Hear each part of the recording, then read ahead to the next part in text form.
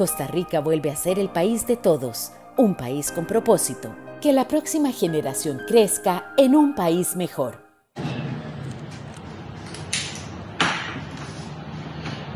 Quiero compartir con ustedes la alegría que embarga el Ministerio de Agricultura y Ganadería. He firmado en este momento la primera autorización para el cultivo de cáñamo industrial en Bebedero de Cañas, un proyecto de 150 hectáreas que serán cultivados en Guanacaste. Para el Ministerio de Agricultura y Ganadería es sumamente importante el desarrollo de actividades agrícolas rentables, eficientes y con un potencial agroexportador importante.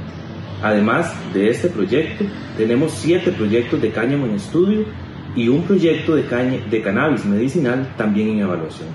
Esperamos que pronto sean aprobados para el desarrollo del país. El sector agropecuario avanza y el MAC avanza con él. INA, la llave del progreso.